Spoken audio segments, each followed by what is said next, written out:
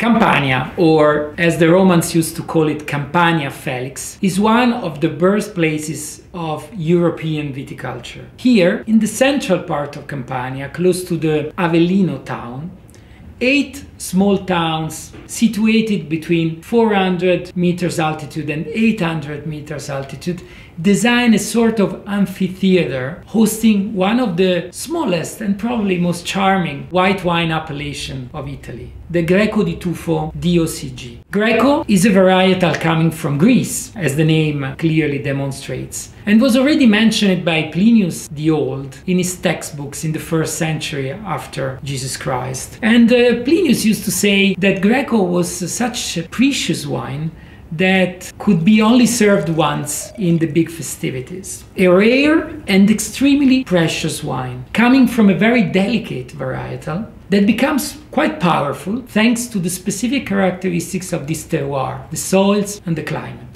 A delicate varietal with small berry with a very, very thin skin that very easily gets darker and can get sick. This is why it's important to protect this grape. This is why the leaves in the traditional cultivation methods still present in the area, the leaves were covering the grape in a similar system to what the pergola was. In particular, it was called here raggiera because the different branches were living, creating rays around the central point and the vines were growing up almost on the trees at almost two meters. This was a way to protect, you know, the grape thanks to the leaves and also protect the grape from the humidity coming up from the soil. This typical cultivation method is still used by many small farmers that are still active in the area. But what is most surprising is not just these ancestral viticultural systems that you can still see, but it's the specific characteristics of the soil. Not only per se, but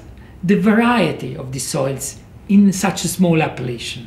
You start from an area where the most common soils are calcareous, in the Chianche town. Then you go in the central part of the amphitheater, the two towns of Santa Paolina and Tufo, which is probably the most renowned area of the appellation, where the soils are characterized by the presence of mineral and even the sulfurous mines that are under the level of the soil.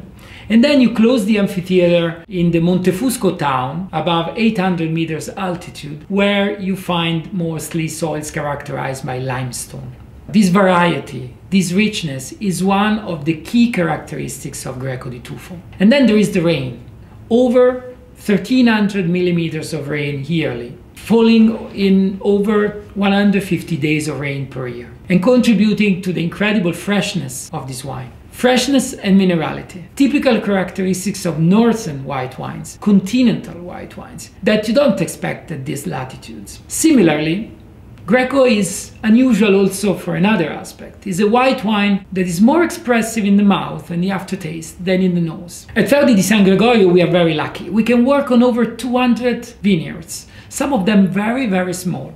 And we can continue doing research in partnership with Research Institute and University around a project called Feudi Studi, protecting and enhancing the value of this varietal and the beauty of this terroir and the richness of the community of farmers that still work this varietal with the traditional systems is one of the core mission of our benefit corporation strategy and on our purpose as a B Corp.